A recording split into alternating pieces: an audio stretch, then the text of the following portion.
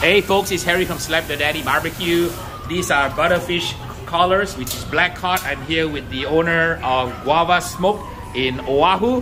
Hey Scotty, what are we up to Hey, today? good morning, guys. Harry, this morning we're uh, smoking some butterfish collars and some salmon bellies.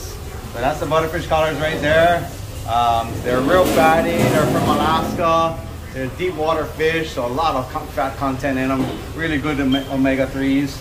Um, yeah, we space them out, get some heat on them, get some guava wood smoke, smoke on them, and uh, they'll dry out and get firm, and we'll finish them off on the grill later. And I mean, we're standing right in your smoker right now. Yeah, right? we're standing inside. It's, Smoker. it's actually an old proofer that we converted into a smoker.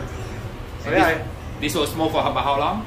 uh, about five hours. Okay, wonderful. Can't wait to see the results. All right, Yeah. thanks. Thanks so much, All Scotty. right, Thanks, Yeah. Harry.